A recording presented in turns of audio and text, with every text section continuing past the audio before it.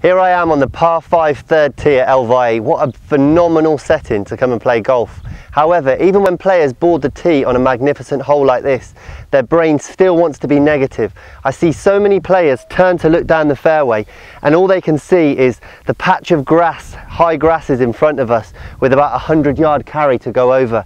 They might spot the bunker on the right hand side or the trio of bunkers up on the left hand side. Looking at the wind direction, we can feel the wind coming slightly off the right hand side. They might start to worry about hooking the ball on the wind.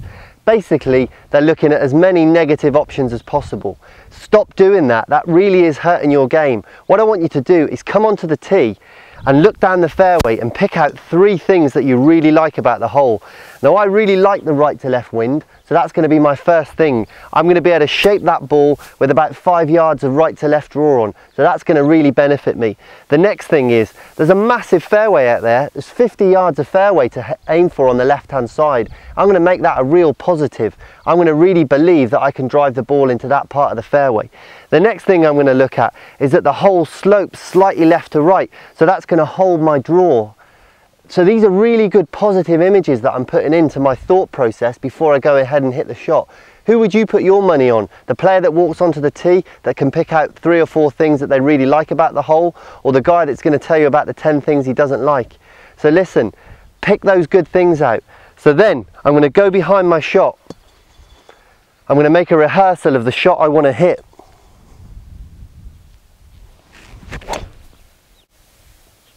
Visualize that shot flying right down into my area. Then go ahead and hit this shot exactly as I've just seen in my head. Watch how still I stay over the golf ball. I've got my setup position there. Nice and still, just turn that upper half of the body.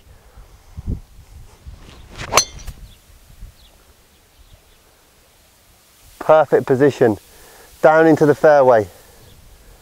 That's going to leave me a chance to get there in two. Now we've got down to our ball in the fairway. We can see what's in front of us. We can see the bunkers over on the right hand side. We can see the bunkers on the left hand side. I've looked at my yardage. I've got 182 metres to the front of the green. That means I've got 200 yards. The pin looks as if it's 20 to 25 yards on. So I've got 225 yards to the back of the green. I'm going to pick out some things that I like. Again, the wind's coming off the right hand side, so that's going to allow me to flight the ball into that back left, left flag. So not only is the wind an advantage, but the flag position being back left, that's going to help me. So there's a couple of good things that I really like. It's quite a long green here. The only trouble is at the front of the green. So I want to get the ball to the back of the green. So I'm picking things that are really in my favour for the shot. So I'm pumped up about the shot. I can go ahead now and really start to think about executing my shot.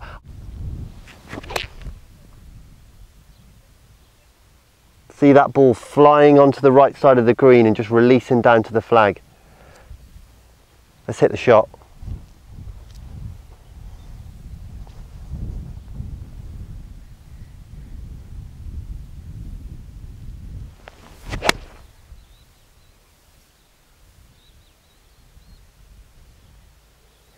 Pitch right on line to the flag. Believe me, that's going to give me an eagle chance. So we've hit that second shot into the par 5. It's really important though to continue to keep thinking really confidently. Look at the different hazards that are in front of you and don't be put off by the difficult ones.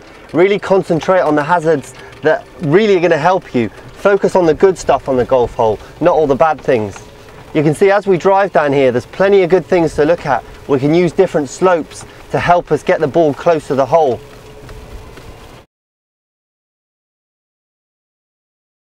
If you can visualize these shots, believe me, you're going to have a chance like that to go and make an eagle putt.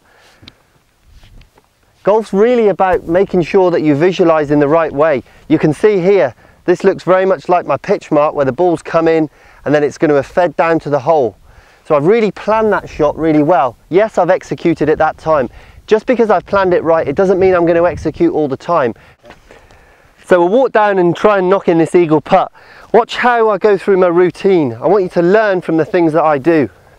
Now, by no means am I saying everything I do is perfect, but if you can look at some of the good things that I do and even make some comments about some of the bad, and I'll try and get better myself.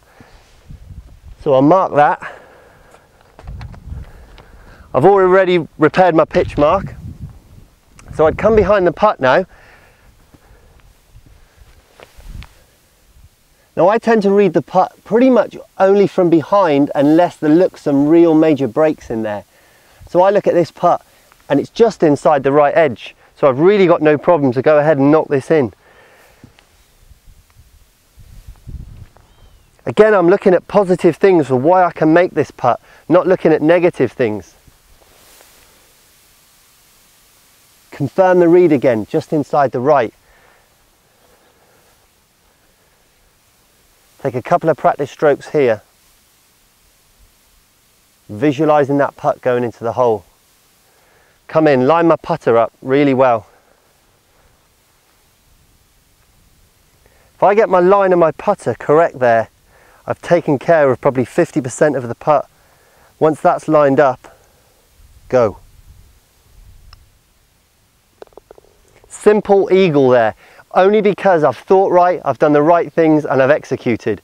Go ahead, really work hard on executing your shots and believe me, you might make some eagles yourself.